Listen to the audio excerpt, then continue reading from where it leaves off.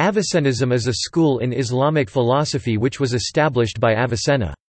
He developed his philosophy throughout the course of his life after being deeply moved and concerned by the metaphysics of Aristotle and studying it for over a year.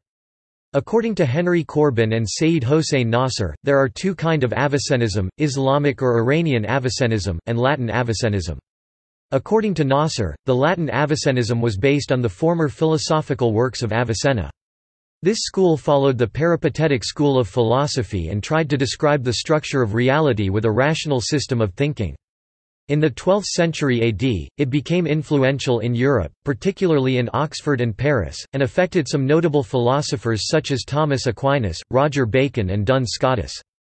While the Latin Avicennism was weak in comparison with Latin Averroism, according to Etienne Gilson there was a «Avicenizing Augustinism». On the other hand, Islamic Avicennism is based on his later works which is known as «the Oriental philosophy» Hempt Almshirkan. Therefore, philosophy in the Eastern Islamic civilization providing became close to Gnosis and tried to provide a vision of a spiritual universe. This approach paved the road for the Iranian school of Illuminationism by Suhrawardy. Henry Corbin referred to divergences between Iranian Avicennism and Latin Avicennism.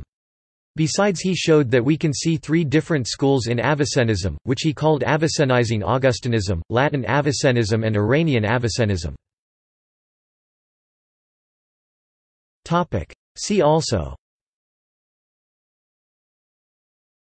Avicenna Contemporary Islamic philosophy Eastern philosophy Iranian philosophy Islamic philosophy Footnotes. References Corbin, Henry 1998. The Voyage and the Messenger, Iran and Philosophy.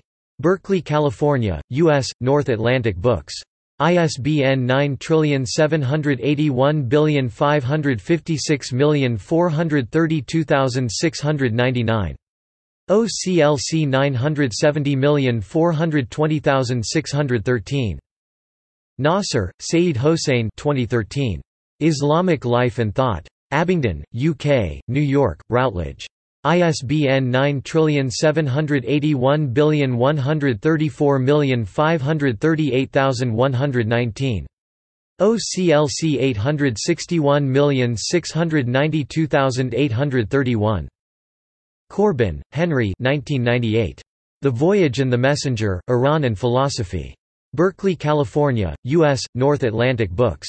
ISBN 1546432690. OCLC 970420613. Corbin, Henry, Trask, Willard R. 2014. Avicenna and the Visionary Recital, Mythos Series.